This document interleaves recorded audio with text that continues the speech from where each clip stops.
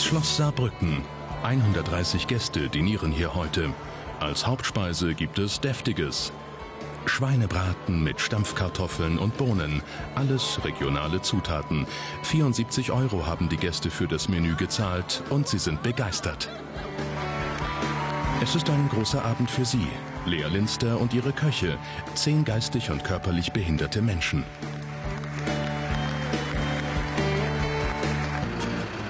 So fing es vor knapp einem Monat an.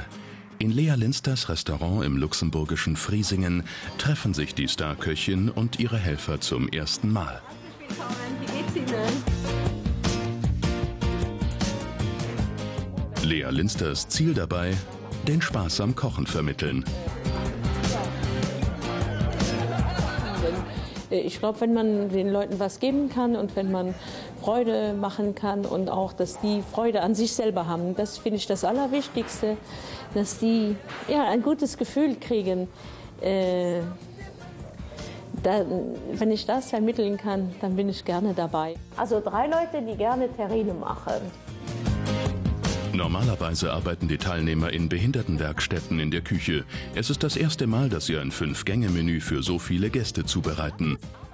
Corbignon Wolf ist Sous-Chef in Lea Linsters Restaurant. Er wird die Nachwuchsköche anleiten.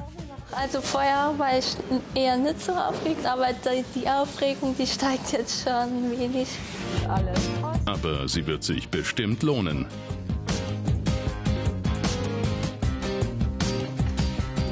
Nachher wird der ganze Erfolg und die Komplimente soll für die Leute sein. Und ich finde immer, wenn man eine gute Resonanz hat, dann das treibt einen an, um noch mehr zu machen. Und wenn das dann geschieht an dem Abend, dann wird das ein wunderbarer Abend sein. Der große Tag. Corbignon Wolf verteilt die Aufgaben. Und dann kann es auch schon losgehen.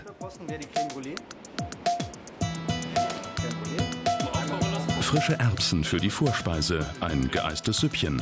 Das Fleisch kommt frisch vom Bauernhof. Claudia Nikolajczek schält Möhren. Sie kommen in die Soße für das Hauptgericht.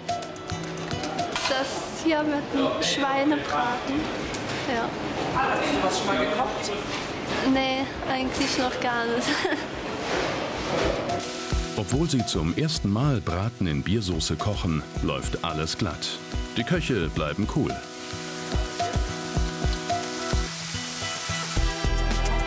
Das Dessert. Zuerst eine Crème Brûlée und dann ein Sorbet. Dafür müssen noch Erdbeeren püriert und gekühlt werden. Was mir ein bisschen Sorgen macht, ist das Sorbet, dass es wirklich kalt genug wird. Das ist, es ist noch etwas flüssig. Wie hat das funktioniert hier so? Super. Also es hat mich echt überrascht. Die arbeiten sehr gut und vor allem arbeiten mit Leidenschaft. Finde ich super. Und äh, die sind wirklich dabei. Also ich hätte nicht gedacht, dass es so gut klappt. Die Chefin Lea Linster überprüft im Festsaal die letzten Details und hilft beim Anrichten der Speisen. Der Zwischengang ist schon fertig. Hirschterrine, dazu Spargelsalat mit Orangenvinaigrette. Im Saal, die Leidenschaft der Köche hat sich gelohnt. Die Crème Brûlée karamellisieren ist Chefsache. Und dann dürfen die Köche ihre eigenen Gerichte probieren. Die Anspannung fällt ab. Also es ist sehr gut gelaufen. Also ich hätte mir es eigentlich gar nicht so vorgestellt. Und jetzt sind alle ganz, ganz glücklich, dass die Leute so zufrieden sind, dass das denen gut geschmeckt hat und dass das ein wunderschönes Fest ist. Also ich würde sagen, wir hatten die beste Brigade des Saarlands heute. Kochbrigade hat gute Arbeit geleistet. Ein verdienter Applaus.